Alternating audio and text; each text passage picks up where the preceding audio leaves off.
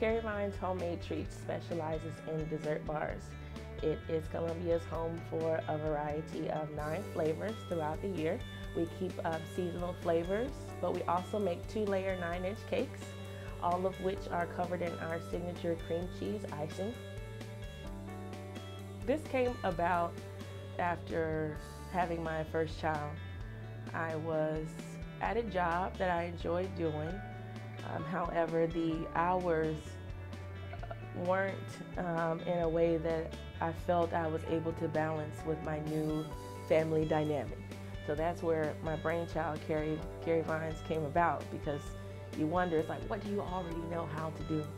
And baking was it for me. You know, I figured out a way um, that was pleasing to my market, uh, a need that wasn't being met already, and that's how um, Carrie Vine's came about. I would say to others in my position just to keep going, one step at a time, as cliche as it may sound or is. Don't beat yourself up. Write down those awesome ideas that come to you.